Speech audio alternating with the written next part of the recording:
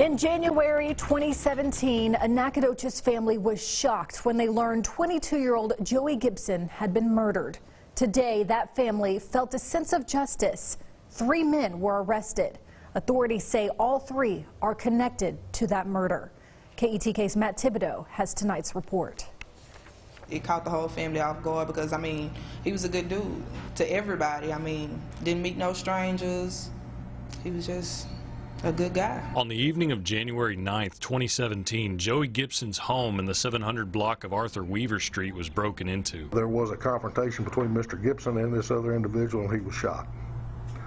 And uh, he died at the scene. 19 months later, his family finally heard some good news. We have charged three individuals with capital murder in connection with a homicide and home invasion case. The three are Casey Richard Brown, Patrick Huey, and Rassium Stefan Franklin.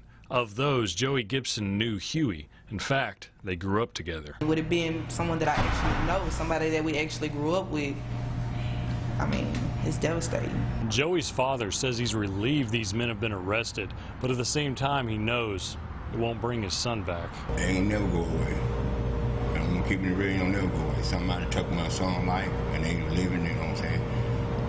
I think they should be on their back too. The investigation is still ongoing, and Nacogdoches police say it's possible more arrests will be made. Matt Thibodeau, KETK News.